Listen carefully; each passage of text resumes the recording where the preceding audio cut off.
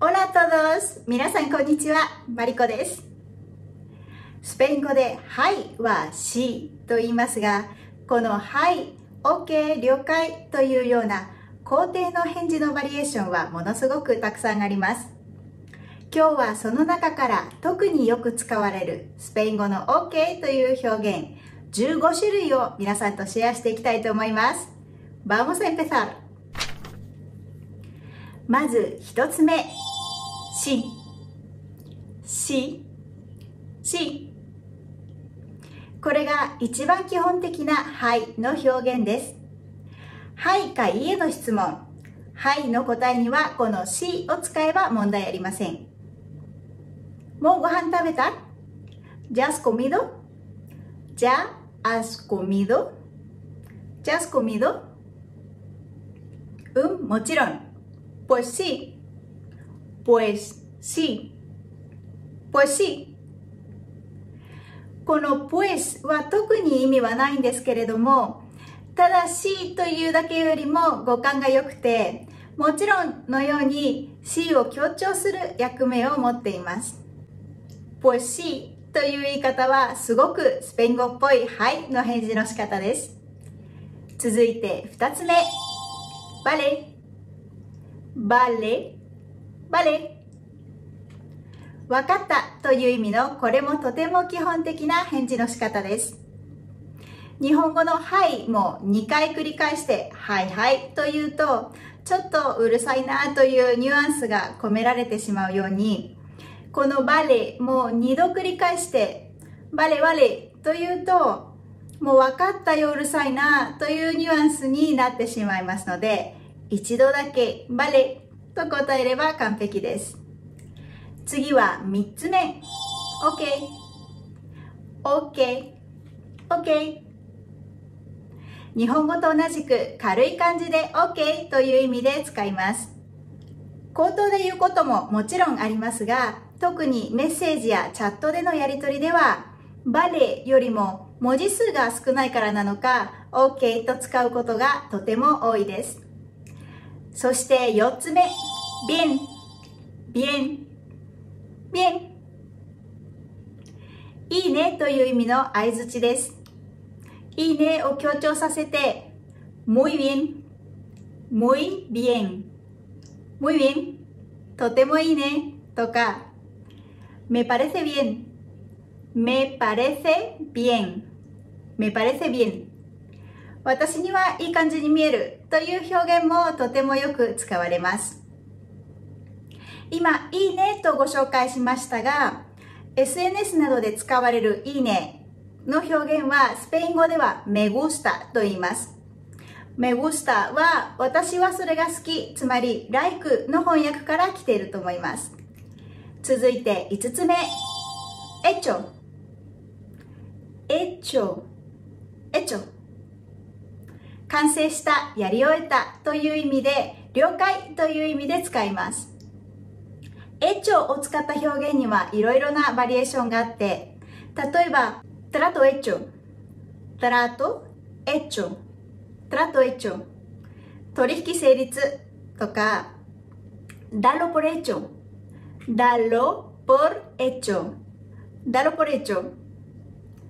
それは完了したとみなしてという意味で OK という意味、いずれもとてもスペイン語っぽい表現でよく使われます。次は6つ目。claro, claro, claro 明らかなとか明白なといった意味の形容詞ですが、分かったという時の返事として使われます。この claro を使った表現もたくさんあって、例えば、más claro que el agua, más claro que el agua, más claro que el agua 水より透明、そのぐらい明らかという意味です。他には、tan claro como la luz del día, tan claro como la luz del día, tan claro como la luz del día 日中の光ほど明らか、全く明白ですという意味になります。他には、わかったと念をして聞くときに、ha quedado claro?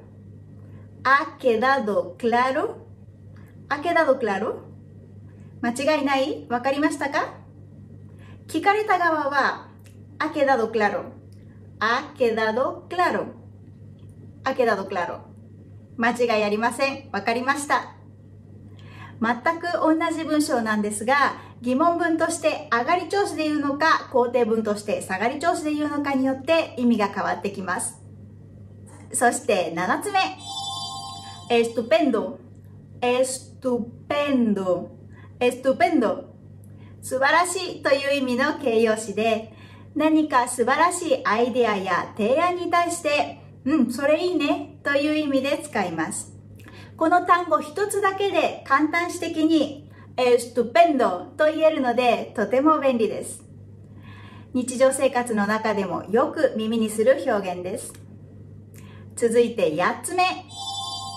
perfecto perfecto perfecto 完全な、完璧な、パーフェクトなという意味の形容詞で、先ほどのエストゥペンドと同じく簡単詞として使えます。ペルフェクトと一語だけで使えるのでとても便利です。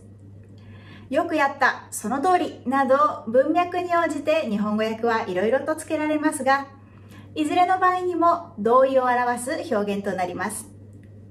そして9つ目、efectivamente, efectivamente, efectivamente 本当に、確かに、その通りというふうに相づちを打つ表現です。この単語も先ほどの2つと同じように、これ1語で使います。次は10個目。de acuerdo, de acuerdo, de acuerdo 了解 OK の意味です。軽い感じで使うこともあれば、何か仕事上の依頼を受けてそれを承知しましたというような場合にも使います。なかなか便利な表現です。イントネーションや言い方によって雰囲気がとても変わります。例えば、でアコルドといえば友人同士でも使える軽い感じの了解という意味ですし、でアコルドのように上司に返上することも可能です。続いて11個目。No lo dudes. No lo dudes. No lo dudes. 直訳すると、それを疑わないでという意味です。何か難しい案件を引き受けた時に、大丈夫？一人でできる？と聞かれたら、信用して、頼りにしてという意味で、No lo dudes と答えたりします。ラストスパート。次は12個目。sin duda。sin duda。sin duda。直訳すると疑いがないという意味でもちろんという返事として使います。そして13個目 por supuesto por supuesto por supuesto もちろん当然といった意味で使われます。例えば宿題は終わったの ¿Has terminado los deberes? ¿Has terminado los deberes? ¿Has terminado los deberes? 当然 Por supuesto. Por supuesto. Por supuesto. 日常生活の中で非常によく使われる表現です。次は14個目。¿Por qué no? ¿Por qué no? ¿Por qué no? 直訳すると、それをしない理由は何という意味から、もちろんという意味で使われます。誰かから誘いや提案を受けた時にそれに同意する時などによく使われます。今夜飲みに行く Salimos de copa esta noche? Salimos de copa esta noche? Salimos de copa esta noche? もちろん。¿Por qué no? ¿Por qué no?